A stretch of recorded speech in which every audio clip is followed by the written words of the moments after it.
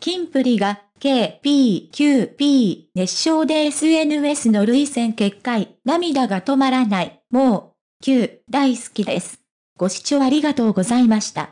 素早く最新情報をもらえるように、チャンネル登録ボタンをよろしくお願いいたします。ありがとうございます。キングプスが18日、NHK 歌コン火曜午後7時57分に NHK ホールから生放送で出演。5人で、キングプリンス、クイーンプリンセスを熱唱した。NHK ホールでの思い出を問われた神宮寺勇太25は、ザ少年クラブという番組で、僕が中学校ぐらいの時から NHK ホールに通わせていただいていた。下に楽屋というか、少し広いリハーサルスタジオみたいなのが、ジャニーズ、ジュニアの楽屋だったんですけど、みんなでボックスに入ってる衣装を自分で取るんですよ。取り合ってたと言いますか、俺はこれがいい、とかみんなでやっていた頃を思い出します、と語った。NHK ホールでの思い出のシーンとして、18年末の紅白歌合戦初出場で熱唱したシンデレラガールの VTR が展開された。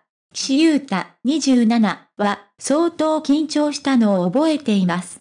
こうやって見ると自分の顔が引きつっちゃって人生一緊張したというか、過言ではない、と語った。マックの谷原章介から、ビシッと締まったいい顔してますよ、とフォローされると、頑張って作ったという感じです、と話した。さらに、キングピンス、クイーンプリンス、熱唱前に平野仕様26は、この曲はファンと僕たちの思い出が詰まった曲なので、ファンの皆さん、見てくれている皆さん、NHK ホールに心を込めて歌いたいと思います。と宣言。長瀬廉24は何年も大事にしながら歌ってきた曲なので、今日もしっかり噛み締めながら頑張って歌いたいと思います。と語った。歌い始めると、平野や長瀬、高橋海人24は目に涙を溜めて熱唱。噛み締めながら歌い終えると高橋は、僕たちのずっと大事にしてきた曲なので、皆さんと思い出が増えてよかったなと思います。本当にありがとうございました、と語った。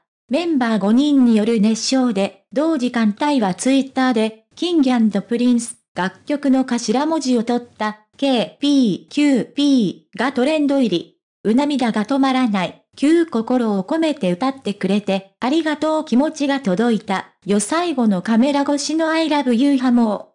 9なんていい曲でなんて素敵な声なんだろうか。心込めて歌ってくれて、ステージに立ってくれてありがとう。大好きです。などと書き込まれていた。